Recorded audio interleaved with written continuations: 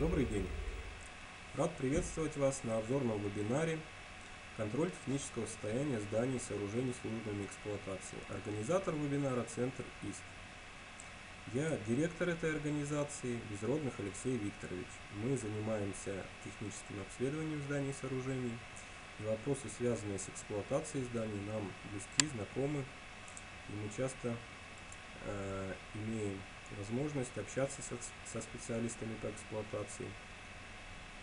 Наш вебинар э, охватывает сегодня только 6 вопросов в области законодательства, ответственности, аварий, технического состояния зданий. Э, все эти вопросы мы рассмотрим сегодня в очень кратком виде. Э, более подробно с ними можно ознакомиться в ходе проводимых нами семинаров, э, либо вебинаров расширенного формата. Э, на тему участия в этих семинарах и вебинарах можно обращаться на сайт Центра ИСТ. Вы его видите в правом нижнем углу.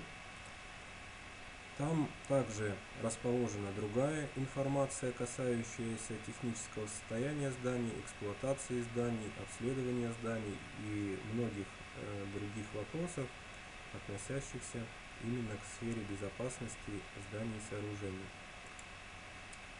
Начнем мы с законодательства в области эксплуатации зданий. Условно можно разделить э, все федеральное законодательство на три составные части.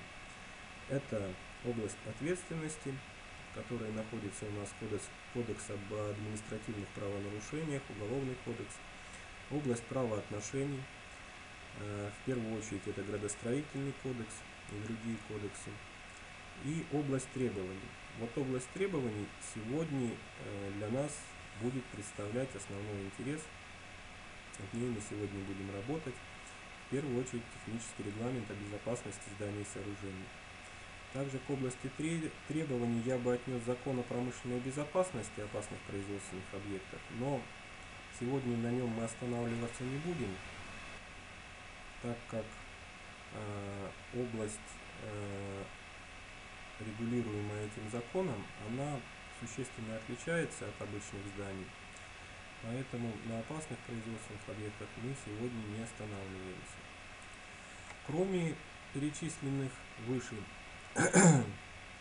законов, существует региональное законодательство, э, которое на, в разных регионах развито по-разному. В Новосибирской области Э, очень мало законодательных актов, касающихся непосредственно вопросов эксплуатации зданий. Сам в некоторых регионах, например, э, Москва, Санкт-Петербург, э, региональное законодательство играет очень существенную роль и на него имеет смысл обращать повышенное внимание. Итак, цепочка законодательных требований в области эксплуатации зданий. Начинается она с закона о техническом регулировании.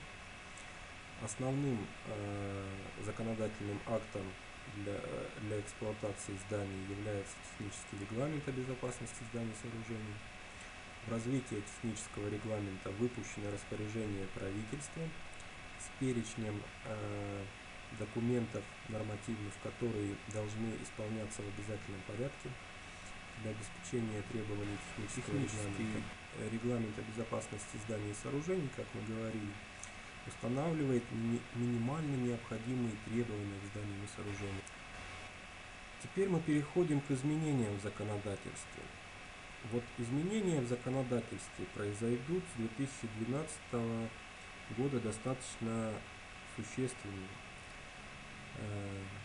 Законопроект, который с начала года интенсивно обсуждался, интенсивно продвигался в Государственной Думе, наконец-то принят ею в третьем чтении, одобрен Советом Федерации и в данный момент передан на рассмотрение президента.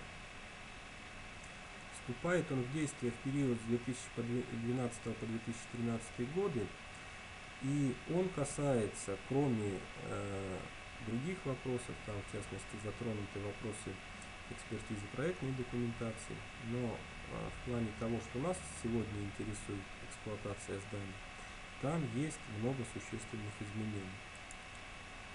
Итак, что же он нам предлагает? Значит, во-первых, в градостроительном кодексе появилась новая глава эксплуатация зданий и сооружений. Она не слишком подробно, но достаточно объемно описывает вопросы эксплуатации зданий и сооружений.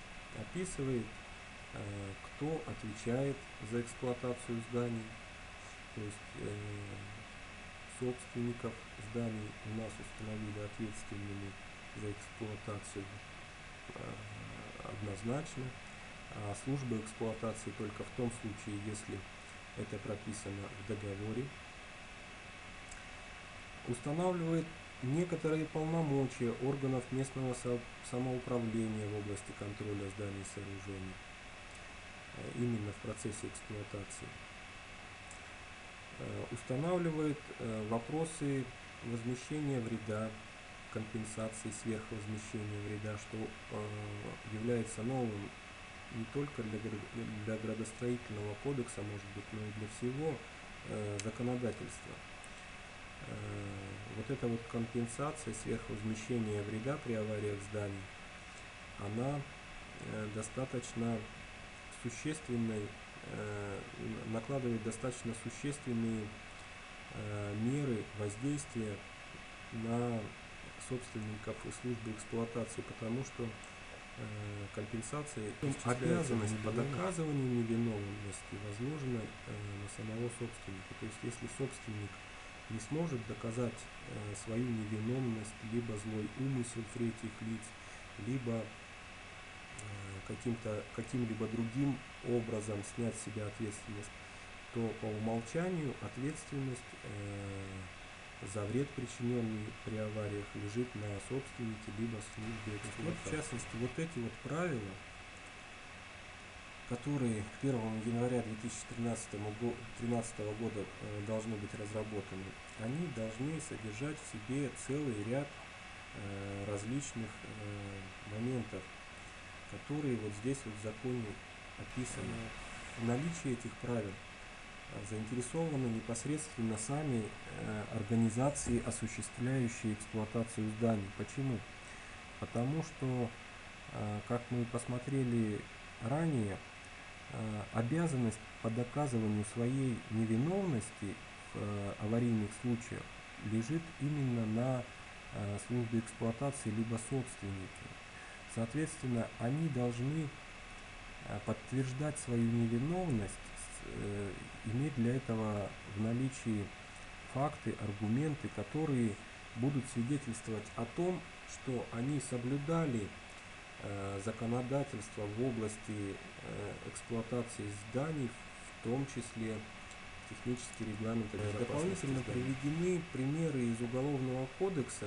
Это статьи, на основании которых э, происходят обвинения в рамках уголовных дел, возбуждаемых по результатам расследования аварий на зданиях и сооружениях. Какие аварии за прошлую зиму у нас происходили? Аварий было достаточно много, но, к сожалению, мы не обладаем достоверной статистикой по аварийности. А, вот статистику, которую мы вам предлагаем, она основана на содержании нашего сайта, в котором мы стараемся собирать всю информацию об авариях зданий, размещаемую в средствах массовой информации. По видам зданий у нас лидируют общественные здания. Э, в торговых комплексах много было аварий, в образовательных учреждениях. И это все в зимний период. Как бы под, подытоживая э, аварийность э, за зимний период, можно сказать, что средства массовой информации освещали все аварии в основном однобоко. То есть много снега, крыша не выдержала, рухнула. Да? Это Основная совсем... масса обрушений происходит не из-за превышения снеговой нагрузки над расчетной. Основная доля обрушений происходит из-за других причин, в частности, э, техническое состояние здания, техническое состояние строительных конструкций, э, ошибки проектирования, дефекты строительства. То есть вот это вот основополагающая В Томске есть такая улица Усова, и там постоянно что-то происходит. В 2005 году с третьего этажа а, здания по улице Усова упала бабушка 80 лет вместе с балконом. счастью, она серьезно не пострадала.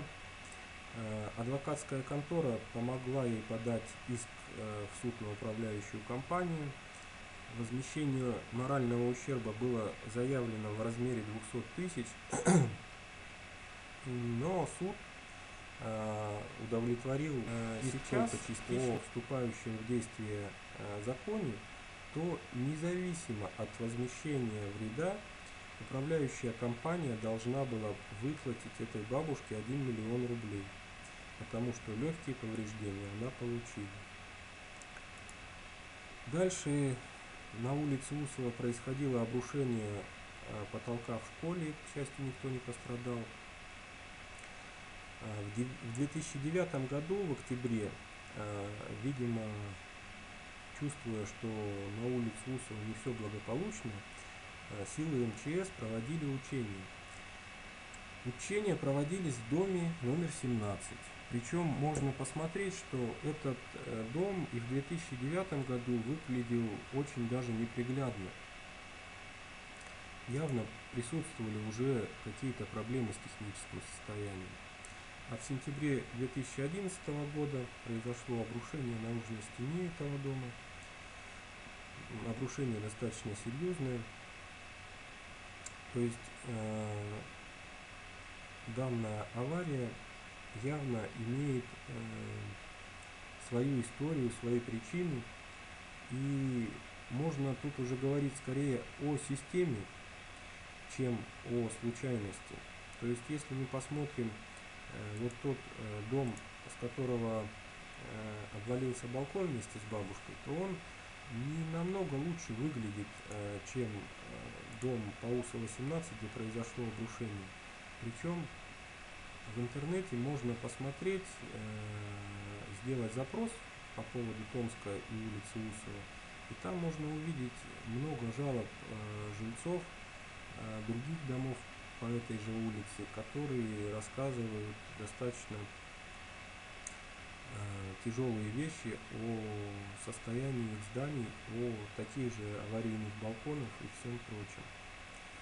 То есть мы говорим вот о системе. И это, конечно, недостатки системы эксплуатации в первую очередь. Итак, для того, чтобы нам обеспечить безаварийную безопасную эксплуатацию зданий, необходимо обеспечить э, качественную систему контроля технического состояния зданий. И это должны обеспечить именно службы эксплуатации. Вот технический регламент о безопасности зданий и сооружений – он возлагает ответственность за э, контрольные меры э, в области обеспечения безопасности. Именно контроль безопасности зданий также относится к сфере деятельности государственных контрольных органов, но мы с вами знаем, что государственные контрольные органы у нас контролируют только два вида зданий. Это опасные производственные объекты э, Ростехнадзор – и жилые дома – это жилищная инспекция. Все остальные здания э, не подлежат государственному контролю, и, соответственно, весь, все вопросы, касающиеся контроля э, безопасности зданий, остаются в компетенции служб эксплуатации. Значит, для контроля безопасности предлагается три основных э, момента, три основных инструмента периодические осмотры, контрольные проверки и мониторинг состояния. Это основные способы контроля. Вот для того, чтобы все это осуществлять, нам и необходимы правила эксплуатации, в которых прописано э, подробно и основательно, что в каких случаях мы контролируем, каким образом и так далее, с какой периодичностью. Вот э, для производственных зданий можно предложить вот такую связку. НДС 1314 и руководство по эксплуатации строительных конструкций производственных зданий. Вот во всех правилах э, эксплуатации, которые были э, выпущены в прежние годы, предусматривалось два вида осмотров – общий и частичный. Общие осмотры – это сплошные осмотры всех конструкций, и выполняются они не менее двух раз в год, обычно весной и осенью, так называемый сезонный осмотр. Также общие сплошные осмотры могут проводиться после каких-то э, серьезных происшествий. В остальных случаях обычно выполняются частичные осмотры, то есть часть здания, некоторые конструкции. Какие другие инструменты контроля у нас есть? ГОСТ 53-778, вступивший в действие с 1 января 2011 года, он, кстати, относится э, к числу обязательных документов, э, которые входят в перечень, утвержденный правительством, так вот, этот ГОСТ предусматривает два вида контроля – обследование и мониторинг. А, ну, про обследование, наверное, я думаю, все знают. Тем не менее, я скажу, что э, в ГОСТе 53778 установлена периодичность обследования. То есть обследование должно выполняться не реже, чем один раз в 10 лет в общем случае, для некоторых случаев Э, не реже, чем один раз в 5 лет. Первое обследование должно выполняться не позднее, чем через два года после сдачи здания в эксплуатацию. Это очень важный момент, потому что в первые годы здание может получать э, существенные повреждения, могут вылазить дефекты строительства, ошибки проектирования. Вообще дом получает э, нормальные эксплуатационные нагрузки происходит деформации основания, э, и все вот эти вот процессы, они, конечно, могут вызывать э, различные проблемы. И именно в первые годы необходимо обращать особое внимание на состояние зданий. Есть с помощью современных методик мониторинга можно э, оперативно, быстро и с небольшими затратами выявлять а, изменения, ухудшения технического состояния зданий и сооружений. Итак, оценка технического состояния. Сейчас мы рассмотрим общие принципы оценки технического состояния именно с точки зрения ГОСТ. Почему с точки зрения ГОСТ? Ведь для служб эксплуатации э, данный документ э, может, э, быть, может не являться обязательным то есть службы эксплуатации не обязаны присваивать э, категории технического состояния своим конструкциям, не обязаны следовать э, ГОСТу в плане обследования зданий. Да? То есть у них свои задачи.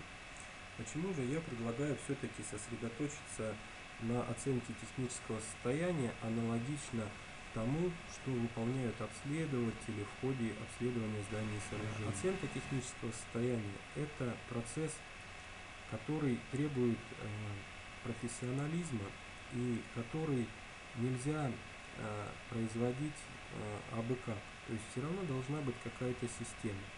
К сожалению, в правилах эксплуатации системы оценки технического состояния нету.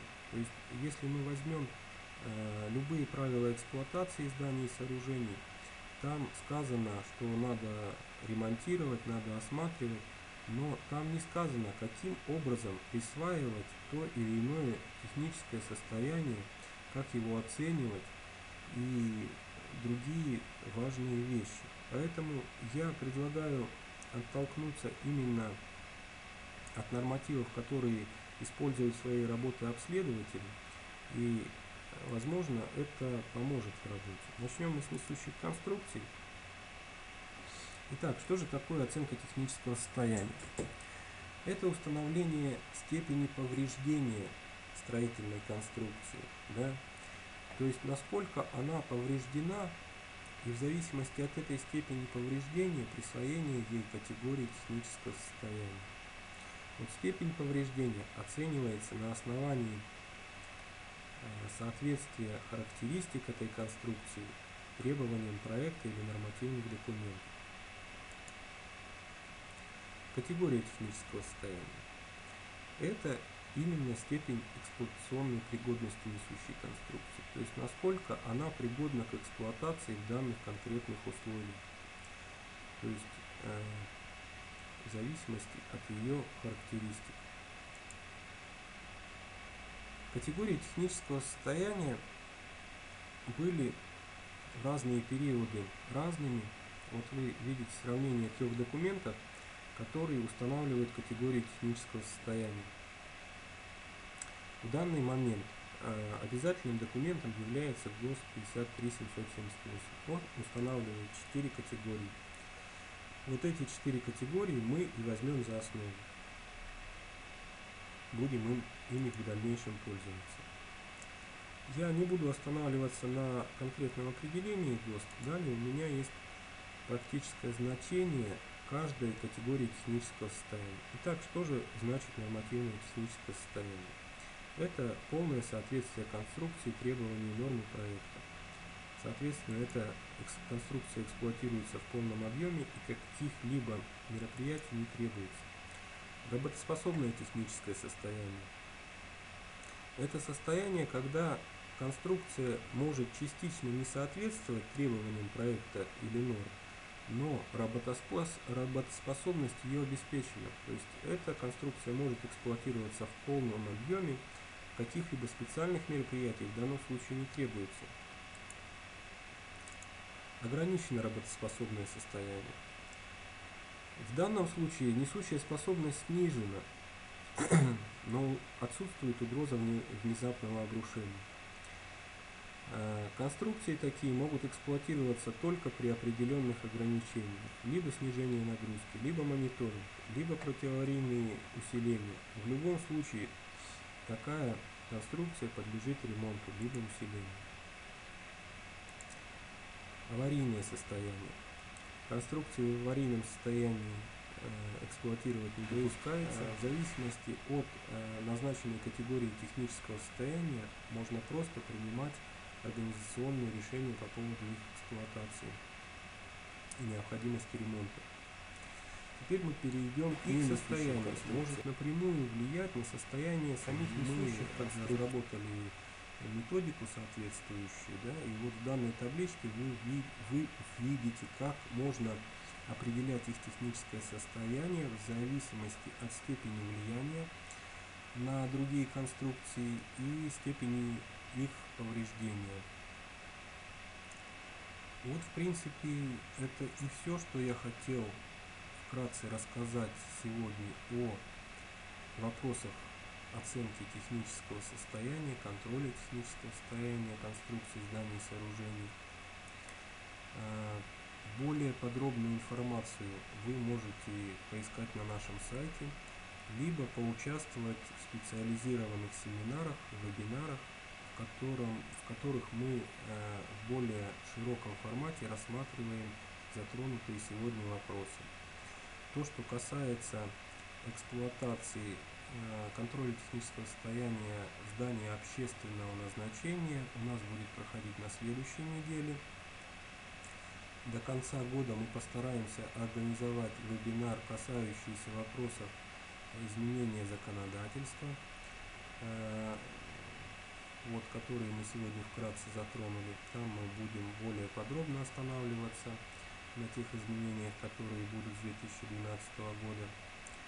И в следующем году у нас будет ряд семинаров и вебинаров, в частности, э, вебинары будут тематические, например, мониторинг технического состояния э, строительных конструкций, либо какие-то вопросы эксплуатации, э, являющие, имеющие какие-либо особенности.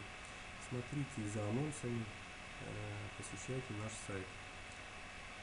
Я надеюсь, сегодняшний вебинар э, вам был полезен. И если у вас есть какие-то вопросы, пожелания, замечания, всегда рад выслушать. Отправляйте их на адрес электронной почты либо оставляйте свои комментарии непосредственно на сайте. Спасибо за внимание.